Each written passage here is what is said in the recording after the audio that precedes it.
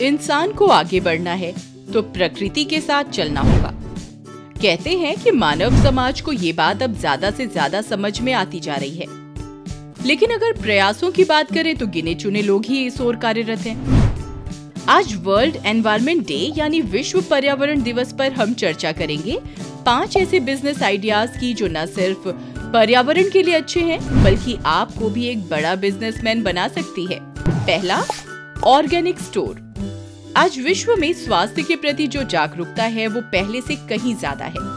प्रत्येक व्यक्ति किसी न किसी स्तर पर अपने स्वास्थ्य के लिए प्रयास कर रहा है और ये ट्रेंड बढ़ता ही जा रहा है। ऐसे में ऑर्गेनिक स्टोर खोलकर आप एक ऐसा बिज़नेस शुरू कर सकते हैं, जो न कि बहुत प्रॉफिटेबल हो सकता है, बल्कि आने वाले समय में भी ग्रोथ की अपार संभावनाएँ दिखाता है। ऑर्गेनिक स्टोर के रूप में आप किराना items skin care products food items इत्यादि के स्टोर खोल सकते हैं।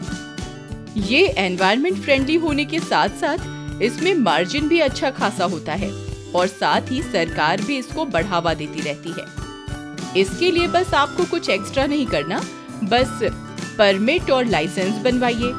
फंड का इंतज़ाम कीजिए।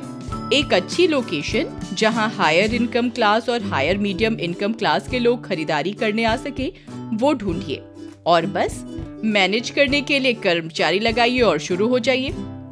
आप चाहे तो शुरू से ही ऑनलाइन डिलीवरी की सुविधा देकर अपने बिज़नेस को तेज़ी से ग्रो करवा सकते हैं।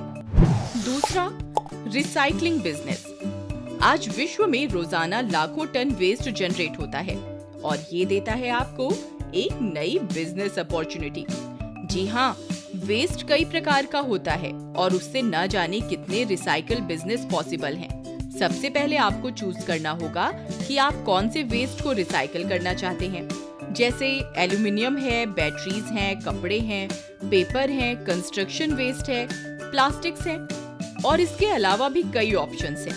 अलग अलग वेस्ट के लिए अलग मशीनें अलग मार्केट की ज़रूरत होती हैं। चूँकि भारत में आप वेस्ट इकट्ठा करने और उसको सेग्रीगेट के लिए लेबर सस्ते में पा सकते हैं ये बिज़नेस आपको काफ़ी तरक्की दिलवा सकता है तीसरा making cloth from plastic CPCB यानी सेंट्रल पोल्यूशन कंट्रोल बोर्ड की 2017 की रिपोर्ट के अनुसार भारत में रोज 25,940 टन प्लास्टिक वेस्ट जनरेट होता है।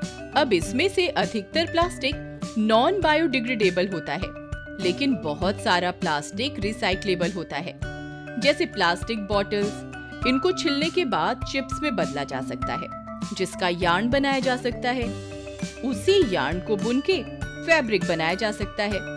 इस बिज़नेस को शुरू कर आप काफ़ी पैसा कमा सकते हैं। चौथा इको फ्रेंडली टॉयज बाज़ार में उपलब्ध अधिकांश खिलौने प्लास्टिक से बने होते हैं, जिनमें टॉक्सिन्स होते हैं। ये खिलौने गैर बायोडिग्रेडेबल हैं और जब उपयोग के बाद फेंक दिए जाते हैं तो नुकसान पहुँचाने की क्षमता रखते हैं।